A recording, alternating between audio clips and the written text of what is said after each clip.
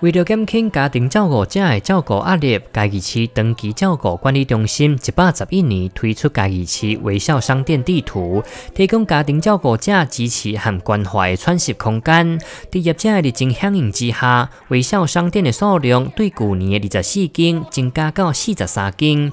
商店的形态嘛，可大到美容、猎人和旅游业等等。家庭照顾者的微笑商店，从去年一点零是有二十四家，今年我们。再提升到四十三家，特别要感谢很多的店家，大家的响应。嘉义市家庭照顾者微笑商店成立一周年，嘉义市市长王明辉已经特别前往微笑商店鼓励家庭照顾者，因为长期照顾厝内患者对家属的精神造成真大的压力。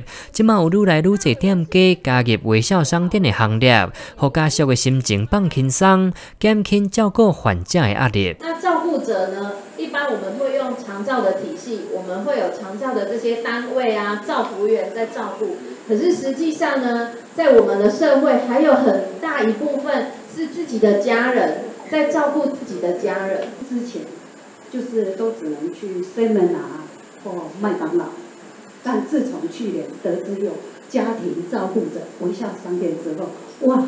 我的喘息的口袋名单又增多了。根据统计，家庭照顾者平均一天爱照顾十一点二小时。嘉义市政府卫生局为了鼓励家庭照顾者行出照顾环境，特别推出几点活动。照顾者只要到微笑商店消费累积满三点，就会当来领一百块消费券。消费券会使伫任何一间微笑商店来使用。记者朱书信采访报道。